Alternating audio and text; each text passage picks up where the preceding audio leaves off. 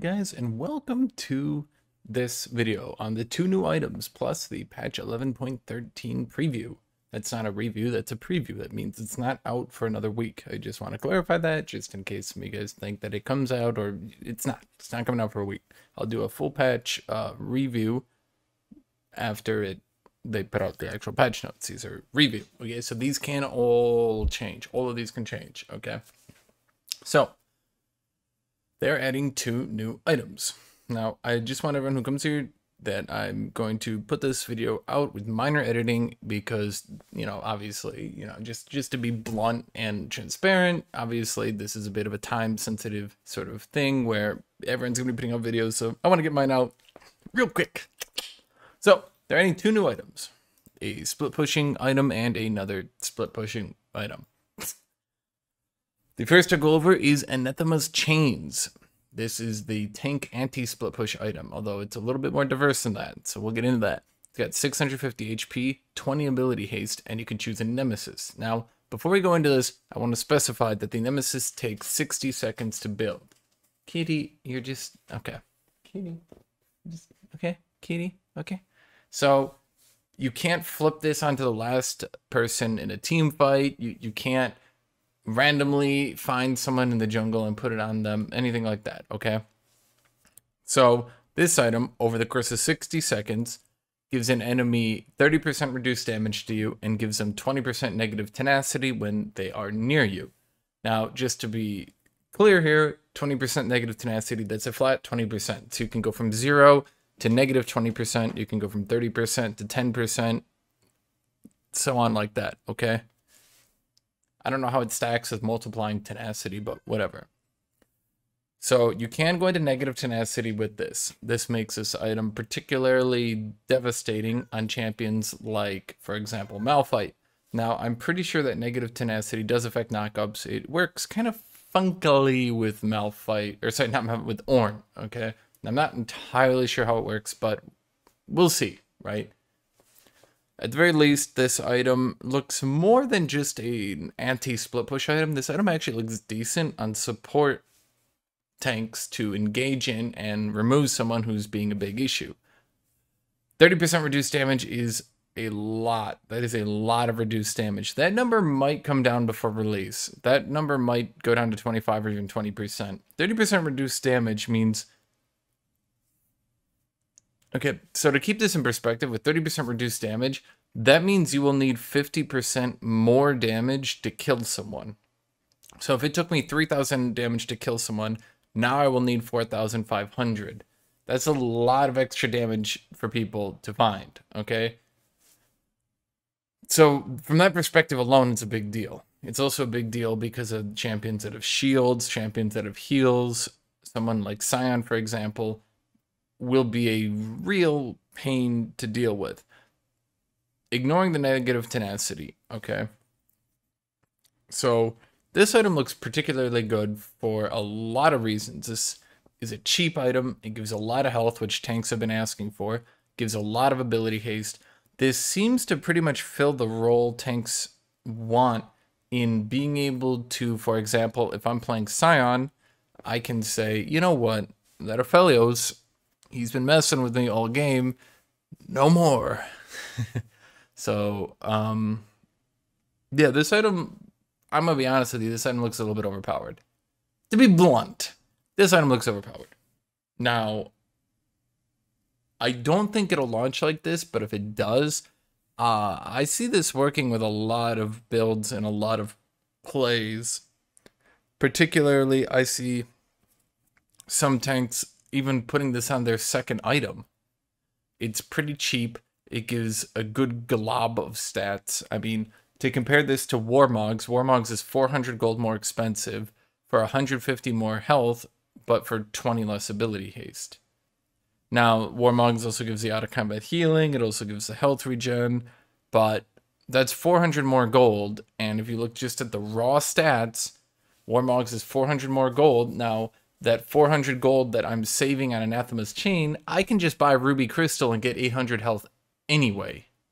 so, um, in addition to the glob of ability haste, this looks good. This looks good. This is a solid addition to tanks.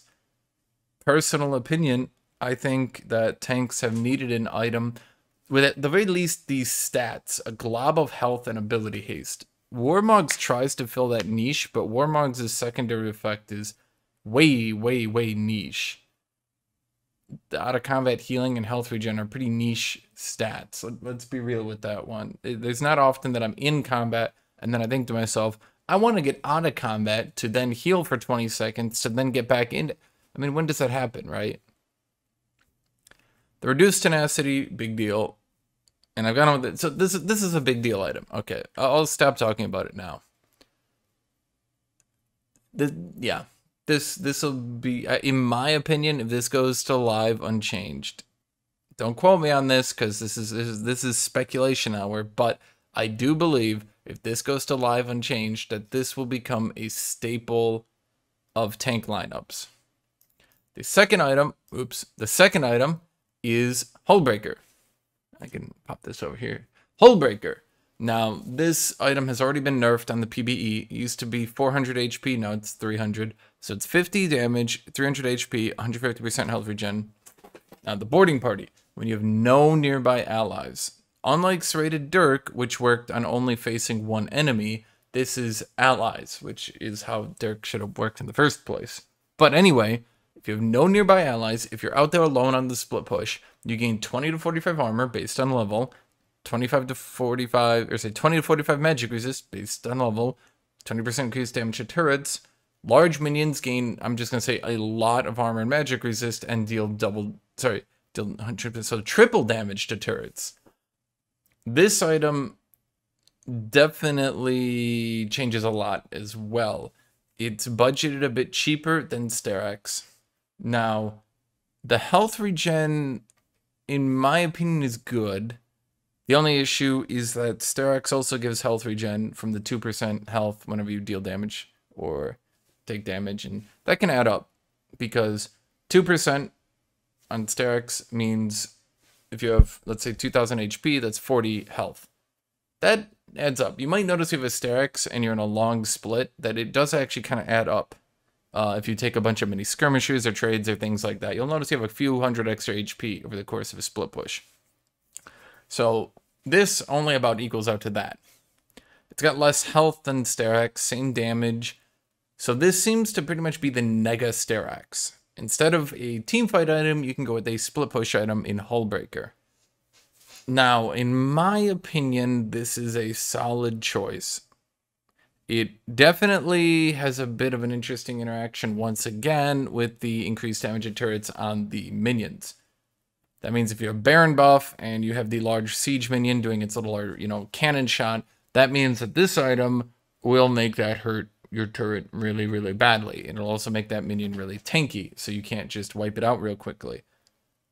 If a team can grab Baron with the split pusher with this item, and that would be difficult because it's hard to grab Baron when you can't 5v5, but if a team can grab Baron and a teammate can have this item while they grab Baron, that will be very impactful.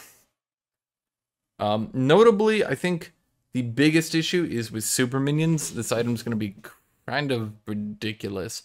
If I'm playing Aatrox or some other champion that can't kill super minions very easily, this item is seriously going to make those super minions practically unkillable and beat the crap out of turrets.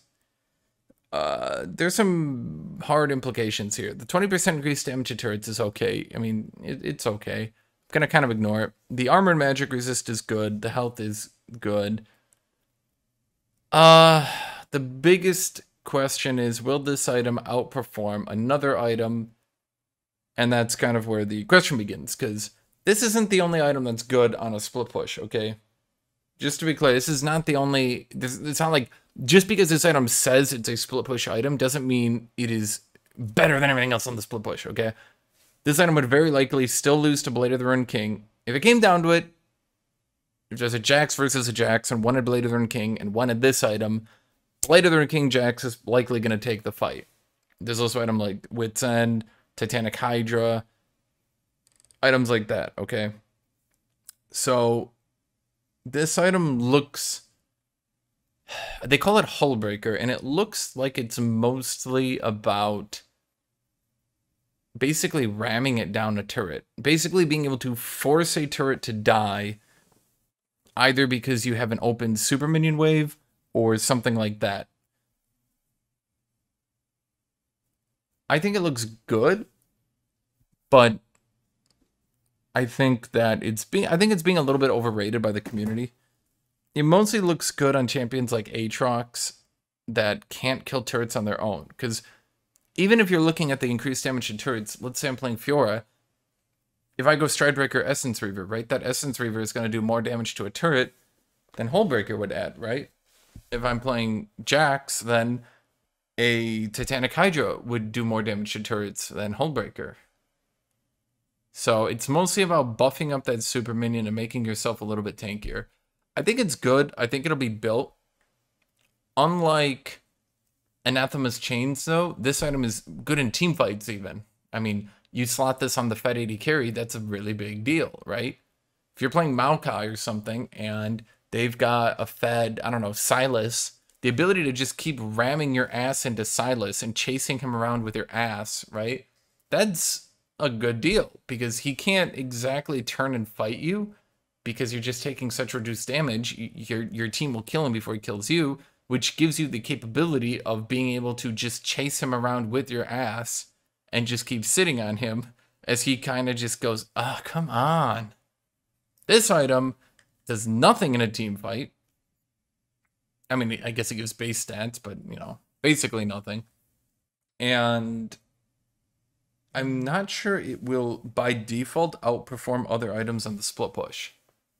So this item I think is going to change the game. This item I think is going to change the game. This item I think will be good and built. So far as he changes in patch 11.13, Divine Sunderer is being nerfed on range. That is obvious. Ezreal and Senna were very overpowered with it. AP items are getting their cost reduced. I guess this is to try to let them complete their items a little bit faster because, yeah, whatever. Um, uh, Moonstone Renewer is getting a little bit of a buff again. This is notable because they're nerfing Shurelya's really hard over here. And I, I made a video on the mobility changes, so go look at that, okay? So they're trying to push Moonstone Renewer, and they're nerfing Shurelya's. So we'll probably see a shift back to Moonstone. Ghost Poro got buffed, but I mean, whatever. I mean, it's not really an important rune. It's nice that they're buffing some of the weaker runes, I'll tell you that much. So far as changes to the mobility creep things, okay, you can go look at my video. You can go look at my video. Other than the video, though, the changes I've done since then, Stridebreaker's damage has been reduced from the 150% it was originally to 100% AD, and it lost 5 damage. That does make it a lot weaker, and that does kind of change my opinion on it, because it now gives less damage than Goredrinker by default. Even though Goredrinker is up to 50% damage, they both had 45 default. Now it's giving less damage and the active does less damage. So this no longer looks like Stride Drinker. This is starting to look different. Obviously, they couldn't keep it that damaging because AD Assassins would just build it and run people down. But I think now they're running into the issue where they've nerfed it so hard for practically only a little. It's, it's got a slow and it's got more health now, and that's it. And I, am starting to change my opinion. I thought originally it was going to be very good, but those nerfs, mm, they still haven't gone ahead and buffed the stance. So it's not really an adjustment. That's a, yeah. So far as these changes, now these can change before live. Again, I want to just specify that. Riven is losing shield by 15. Not really the most impactful change. In my opinion, most champions can't hit Riven through her shield anyway. So her shield is still going to full block whatever attack she blocks with it. I think it'll impact some things for sure. But overall, I don't think this is the nerf she needed. She still scales out of control way too easily. So nerfing her early game a little bit, I don't think isn't what she needed. Lee Sin's losing 40 damage on his max rank E, which should surprise nobody. When I'm starting to take 40% magic damage from Lee Sin, I'm starting to think to myself, hmm, Hmm, Riot, what's going on here? You have really screwed up, haven't you? Rumble's W is losing movement speed and going up on cooldown at rank 1. So Riot is continuing to nerf Rumble rather than addressing the fact that if he touches you and overheat, you die from full. In other words, Riot is saying it is totally okay for Rumble to one shot you. We just don't want him to reach you as easily. As anyone could understand, this is dumb. I just don't understand why Riot continuously insists that every single champion must be a one shot champion. Why? They're delaying the Dr. Mundo jungle because he's very overpowered top lane. This surprises me because Riot has never delayed buffing the jungle of a champion who's already overpowered in top lane. Can you imagine them doing that? Not me. I thought they would just buff his jungle, which would make his top lane better. But they're actually apparently learning or something? I'm not sure. So I was getting some buffs on her Q. Um, I think she maxes it last, but it's going up to 300 damage because it hits twice, up to 300 damage. Damn. 100 base. Damn. That feels like a lot. Aphelios, okay, now I know most of you have never read the encyclopedia of knowledge that is Aphelios. When he levels up, he can put stats into his passive, and then he gets stronger. Yeah, basically his damage and lethality per level. I'm gonna call it per level. You you Aphelios mains who've read all this, you're gonna you're gonna jump at me and you're gonna say Shinjin, it's technically not per level. Technically, you get points and then you put them into them, so it's not per. No, no, no. Okay, so his damage and lethality per level went up. That's about it. Olaf gained more health per level. The Olaf change, I'm not too happy with. It's a good change, but it's not exactly what he needed. Olaf is performing very poorly because they nerfed him and then they nerfed Goredrinker. I know what you're thinking. Wow, they nerfed the champion, then nerfed the item that was making them overpowered? I've never heard of Riot doing that before. Ever. Well, they did it. Again. Personal opinion, Olaf could probably use something somewhere. Viego's getting his lane nerfed. Uh, solo lane Viego's basically dead. But hey, in return, Jungle Viego's getting buffed.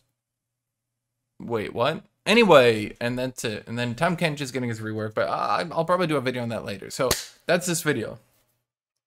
Thank you all for watching, and thank you all for getting through all of it. Appreciate you all. Thank you, everybody. Thank you. Special thank you to my Patreon supporters. Now, remember, the Patreon supporters are why these videos get made. I appreciate you all a lot. You're all wonderful. Please join my Patreon. Thank you.